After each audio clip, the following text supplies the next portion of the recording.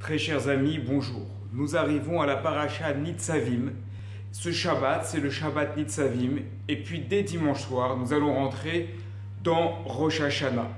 Évidemment que la paracha de Nitzavim, qui est lue juste avant ce Yom Hadin, le jour du jugement, va être liée à ce moment qui est important.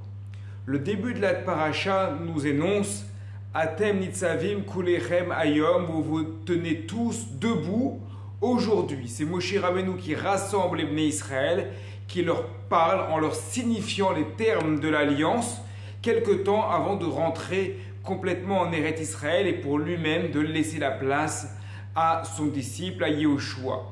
Le terme qui est employé à thème nitzavim, que l'on traduit par vous vous tenez ici, doit être interrogé.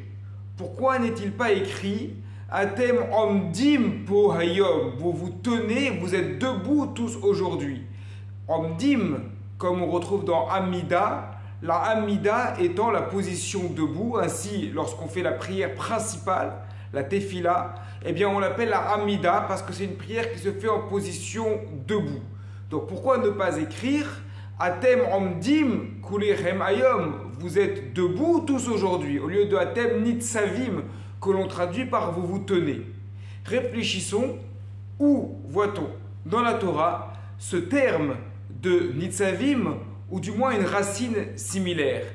Eh bien, d'abord, on le voit peut-être la première fois à propos de la femme de Lot. En effet, dans la destruction de Sédom à Amora, Lot est sauvé et les anges demandent à Lot et à sa femme de ne pas se retourner. Or, son épouse se retourne et à partir de là, elle se transforme en Netziv Melar, une statue de sel. Donc on voit que le terme de Netziv, Nitzavim, rappelle une statue. Une statue, c'est quelque chose qui est immobile.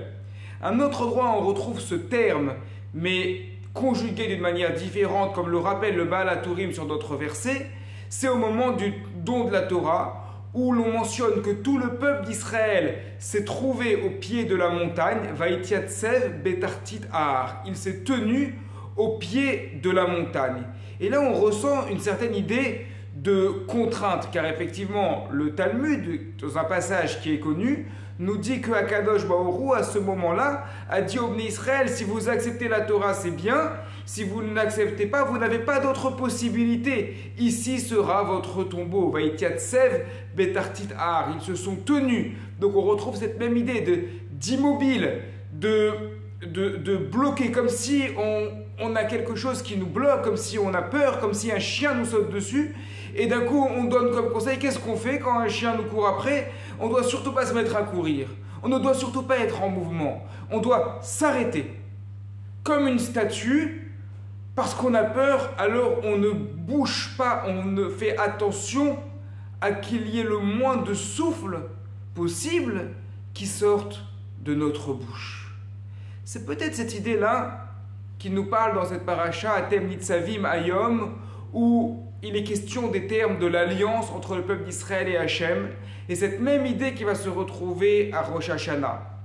Il ne s'agit pas d'être dans une position de Amida, c'est-à-dire d'être debout mais en même temps en mouvement. D'ailleurs, on le voit, lorsque l'on fait cette prière de la Amida, il est une habitude fréquente de, de bouger un peu, c'est-à-dire on est debout, mais en même temps on est en action.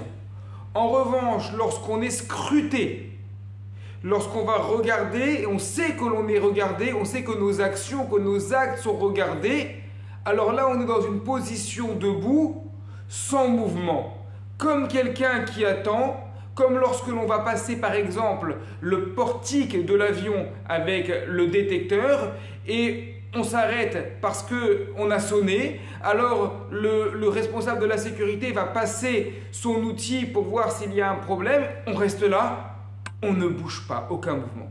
Eh bien, c'est la position lorsqu'il y a quelque chose de tellement solennel devant Hachem, lorsqu'on conclut cette alliance, c'est également la même position que l'on a à Rosh Hashanah. Parce que l'on sait que l'on va être scruté par Akadosh Baoru, alors on se tient debout, droit, comme une statue, en faisant extrêmement attention à montrer une bonne image, avec cette conscience que l'on est scruté par Akadosh Baruch. et que le jugement, que le résultat de cet examen devant Hachem en ce jour de Rosh Hashanah puisse être positif avec une longue vie, une belle vie et des bras rotes pour toutes et pour tous. Shabbat Shalom, Shana Tova Umetuka et Gmar Tova.